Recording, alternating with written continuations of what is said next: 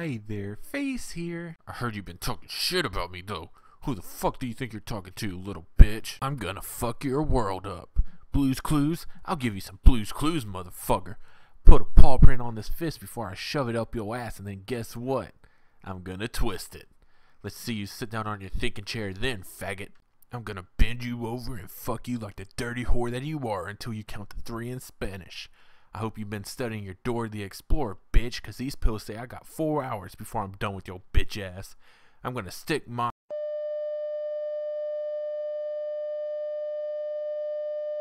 Thank you guys so much for watching the video. I really hope you enjoyed.